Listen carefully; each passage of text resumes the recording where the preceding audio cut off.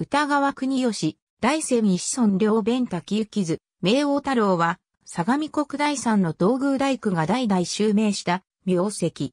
伝承では、約1300年、記録に残る限りでは400年以上にわたって、明王太郎の名と大工技術を継承し、相模国を中心に、武蔵国、海野国、駿河国で自社仏閣や城郭の建築に携わった。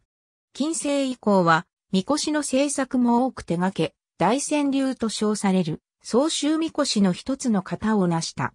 江戸後期には、白川白王家の再居を得た神職として、建築に関わる諸祭儀を取り行っていた。江戸時代初期から120年以上、田中明王太郎を名乗ったが、江戸時代中頃の名王太郎刑事課の代から、主中生を名乗り、以後は、主中名王太郎の名を世襲した。名王太郎の残した文書は、子孫の主中華当主によって、神奈川県に帰宅され、主中華文書として、神奈川県立公文書館に保管されている。菩提寺は長く一族が住んでいた、旧大隅郡粕谷省秋山里にある、ホラーマサイン。類大の母紐同時にある。新編相模国府土機構によれば、名王太郎の家系は、奈良時代まで遡る。過疎はなお、金丸太郎門館と意味の国岐阜に住んでいた。門館は16歳の時、聖武天皇の直により東大寺造流の棟梁を務め、後に東大寺初代別当領弁総城に従って、相模国に下り、直眼によって開かれた大仙寺の造営でも、棟梁を務めた。その時大仙寺本尊不動明王のお告げがあり、以降は、明王太郎と称して、代々の名跡とし、明王太郎の最も古い記録は、平塚市南金目にある光明寺の明王2年の牧所である。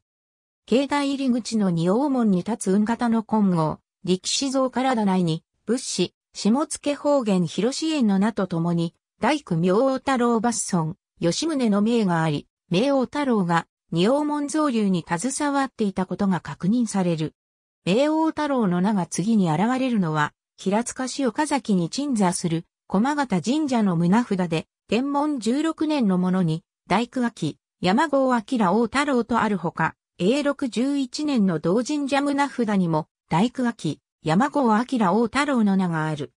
また、天文20年に行われた公平谷神社の社殿最高で大工を務めた記録もあり、少なくとも室町時代までには宮大工として広く活動を行っていた。近世以降の明王太郎の歩みは、胸札や文書に多く残されている。